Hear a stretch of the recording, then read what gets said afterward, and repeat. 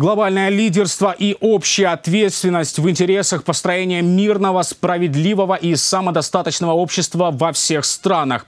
Тема обсуждений на 73-й Генеральной Ассамблее ООН. В эти минуты в штаб-квартиру ООН приезжают участники Генассамблеи. В Нью-Йорке стартуют дебаты и встречи на высшем уровне. Говорить будут и об Украине, о ситуации на оккупированных Россией территориях и миротворческая миссия. Подробнее в сюжете Анжелы Лешко.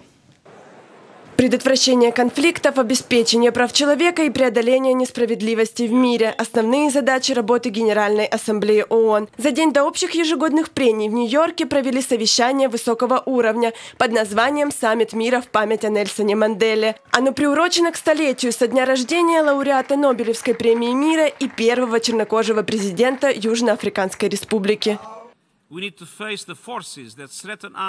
Нужно сталкиваться с силами, которые нам угрожают, с мудростью, мужеством и стойкостью, что и воплощал Нельсон Мандела. Это единственный способ построить справедливый и процветающий мир, предусмотренный в Уставе Организации Объединенных Наций Всеобщей Декларации прав человека.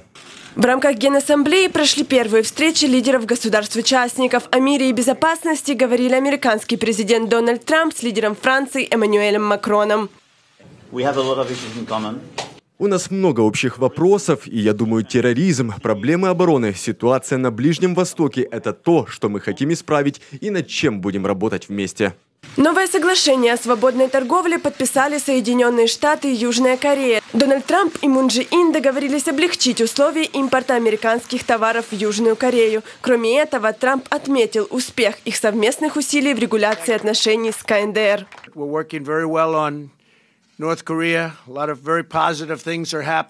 Мы очень хорошо работаем в вопросах с Северной Кореей. Очень много позитивных вещей происходит, связанных с лидером КНДР Ким Чен Ыном. У нас есть договоренность провести еще один саммит. Я собираюсь встретиться с Ким Чен Ыном в ближайшем будущем. В рамках переговоров на 73-й Генассамблее будут говорить и об Украине, агрессии России на территории страны, необходимости восстановления мира и введении миротворческой миссии на оккупированные территории. Президент Петр Порошенко проведет дипломатические встречи, а в среду выступит с речью. Анжела Лешко, UATV.